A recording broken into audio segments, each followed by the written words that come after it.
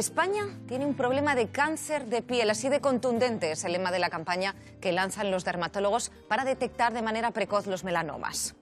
Pues sí, Efectivamente, de hecho, fíjate que la cifra asusta, ¿eh? En España alrededor de 80.000 tumores, tumores de piel se detectan cada año. Luis, es muchísimo. 80.000 Me ha impresionado mucho. el número. Claro, la cifra es muy alta. Lo que pasa es que de esos 80.000 la mayor parte de ellos son basaliomas, son carcinomas vasocelulares, que bueno, no son agresivos localmente, pero se pueden quitar, no metastatizan.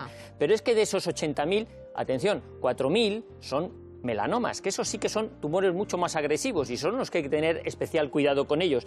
¿A qué debemos estar atentos con estos melanomas, Ana?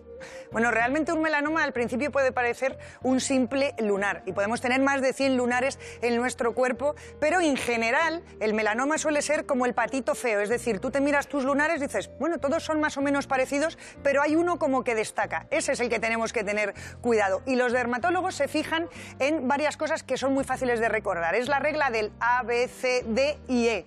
¿Y cuáles son esas reglas? La A es de asimetría. Yo tengo en la, en la táctil un melanoma. Si nos damos cuenta, es totalmente asimétrico. Si yo parto en dos este lunar, la mitad superior es completamente diferente a la mitad inferior.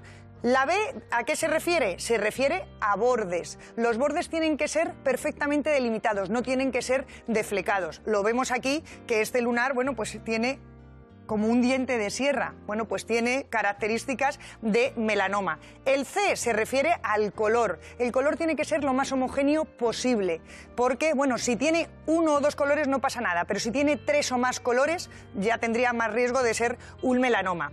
Vamos por la D de diámetro, cuanto más pequeñito sea, menos riesgo, y un diámetro mayor de 6 milímetros, 6 milímetros, ya diríamos que tiene más riesgo de ser melanoma. Y nos queda la E, que es la evolución. Un lunar que empieza siendo de una forma y va pasando el tiempo y cambia su forma, es peligroso, hay que vigilarlo.